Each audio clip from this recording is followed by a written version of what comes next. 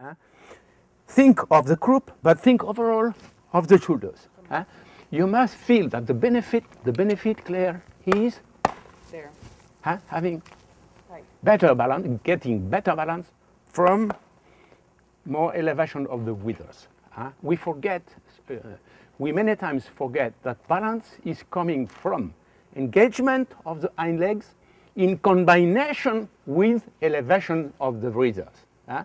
And many times we forget elevation of the withers.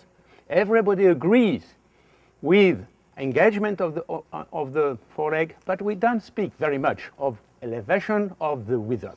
When you, we ask for a lateral flexion, the horse must not give a direct flexion. Uh, if, if you allow the horse to give a direct flexion, after that, you cannot get a lateral flexion. So you ask for a lateral flexion. No, no, I know, I know it's difficult. I know it's difficult. No. Okay. Right? Good. Good. Right.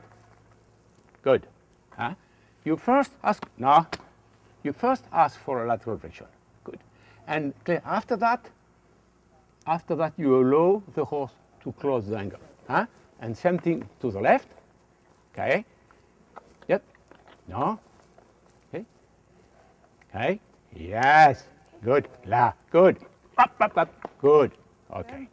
What, what you did is that, you see, giving lateral flexion, and then when the horse is giving the lateral flexion, Claire, though you allow the horse to stretch, but you see, Claire, I keep, I keep, I keep light, soft, permanent compact. huh? It's not, it's a release of the rein if you we want, but after that, it's very helpful for us if the horse is used to follow our hand. huh?